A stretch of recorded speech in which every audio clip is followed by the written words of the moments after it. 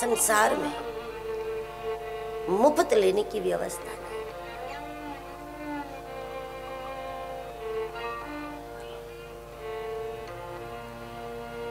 दानव, मानव, देव और परमात्मा,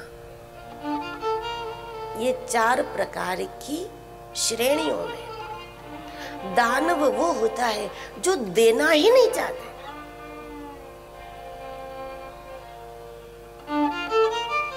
देना सीखा ही नहीं उसने। वो लेना ही चाहता जहाँ से मिल जाए, बस ले लेना। देना ही नहीं चाहता दानव देने की वृत्ति ही ना हो। यह असूरपना है। अब देखो, लोग पाँच पंद्रह रोटी भी बच जाती हैं तो दो दो दिन फ्रिज में रख देते हैं।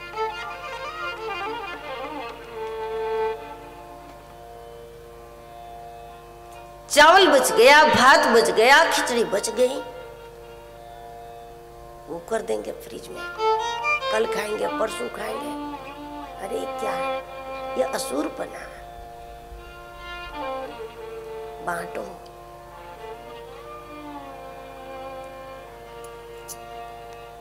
जो भर लिया है वो नहीं मिलेगा वास्तव में तो जो बांटो के बहुत मिलेगा।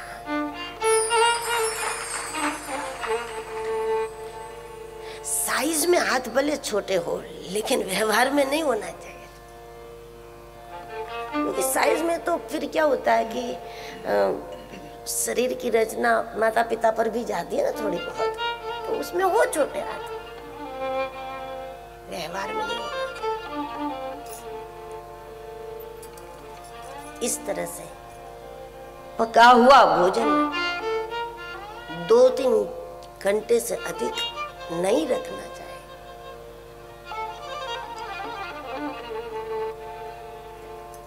गूथा हुआ आटा फ्रिज में कर दे, दो दो दिन तक, कल बना लेंगे, परसों बना लेंगे। ये सब बुद्धि को विपरीत करने वाली बात है। इससे बचो। उसमें बदबू मालूम नहीं पड़ती। मतलब ये नहीं कि होती नहीं। उसमें दोष दिखते नहीं। है इसका मतलब ये नहीं कि होते नहीं बांटो केवल अपने लिए और अपने परिवार के लिए पकाने वाला चोर है। बहुतों का विचार करके भोजन पकाया जाता है। पंछियों का विचार, अन्य जीवों का विचार, गायों का विचार, कुत्ते का विचार चिटियों का विचार। इन सब का विचार कोई अतिथि आ गए, कोई साधु आ गया। आसपास का विचार घर में काम काज करने वाले लोगों का भी सबका विचार करके करना चाहिए। और इस प्रकार पकाने वाली माता अन्नपूर्णा है। और घर की मुख्य स्त्री अन्नपूर्णा रूप होनी चाहिए। भगवान ने उसको स्थान तो अन्नपूर्णा का दिया है, लेकिन वो अन्नपूर्णा बने।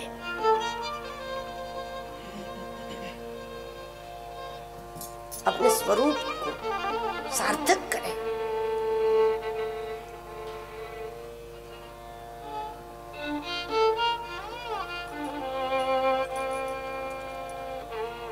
बांटने के लिए हाथ बने हैं, केवल बटोरना नहीं होना चाहिए, क्योंकि ये संसार में, यदि आपने बड़े मन से भी लुटाया तो ये समझ लो, यहाँ कहीं भी टिकने की व्यवस्था नहीं है। मुफ़्त लेने की दुनिया में ईश्वर ने व्यवस्था नहीं की, वो तो लौट के ही आना। है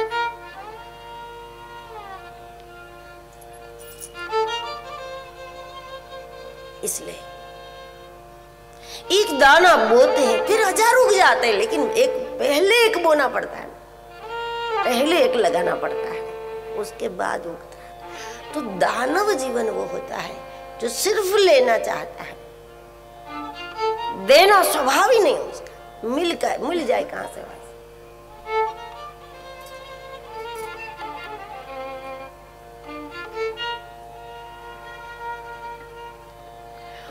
और जब किसी को दे भी तो वो फिर तब दे जो बिगड़ा हुआ हो। वो बहुत गलत है, क्योंकि हम अन्य इंसान को देते हैं।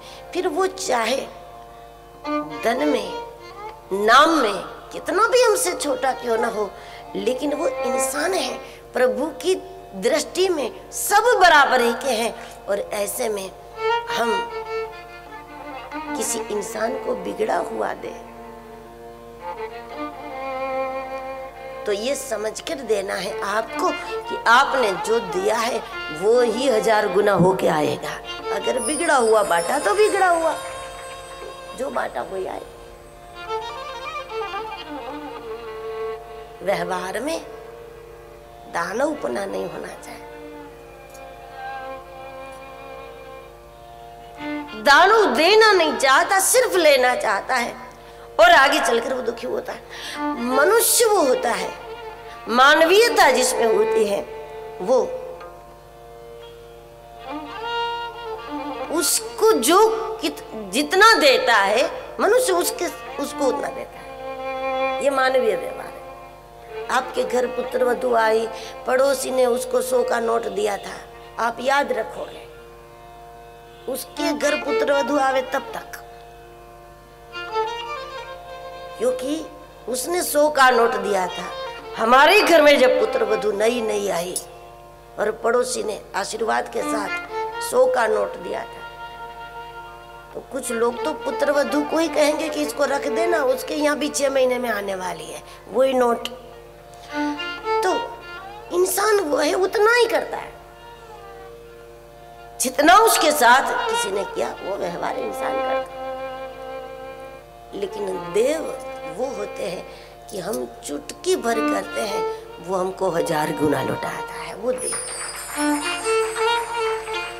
एक दाना बोते हैं और हज़ार बनकर के आता है, वो देव होता है। लेकिन जहाँ बात परम की है, परमात्मा की है, वो सिर्फ़ देना ही जानता है, बिना लिए। सिर्फ़ देना। परम तत्व में रखने की व्यवस्था ही है लेने की व्यवस्था ही नहीं है। वो तो बस बरसता है। वो सिर्फ़ देता है।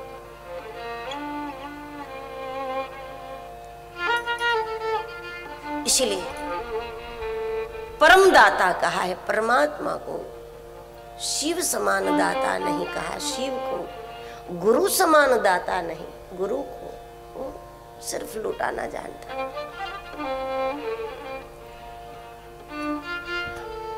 तो दुनिया में शरीरधारियों के लिए मुफ़्त में लेने की कोई व्यवस्था नहीं है। इसलिए हमें जो कुछ मिलता है, प्रकाश, हवा, पानी, वैसे भी वो वृत्ति नहीं होनी चाहिए। कुछ लोग सुबह उठते ही ये विचार करते हैं, किससे मांगू? किससे मिलेगा मुझे? किसका संपर्क करूँ? कहाँ से मिल जाएगा? याद रखिए, दिन प्रतिदिन दरिद्रता घेर लेगी आपको। आज संपन्न वही हो, आज आपकी दाल रोटी चलती भी है, तब भी मांगने की वृत्ति दरिद्रता की जड़ है और लुटाने की वृत्ति ही समृद्धि की जड़ है।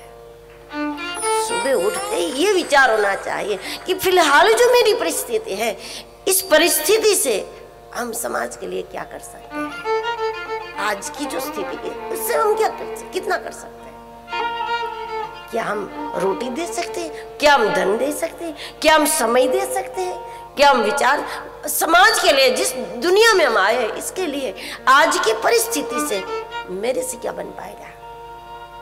फिर करो, ना करो, जितना करो, बात लगे लेकिन उठते ही कहाँ से मिल जाएगा?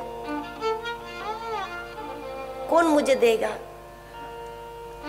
संसार को अपेक्षा की दृष्टि से देखने वाले लोग आगे चलकर दरिद्री होके रहते हैं। और संसार को सेवा भाव से देखने वाले लोग हम हम किसकी सेवा कर सकते, कितनी कर सकते, किस प्रकार कर सकते? ये विचार ही आगे चलकर समृद्ध करता है।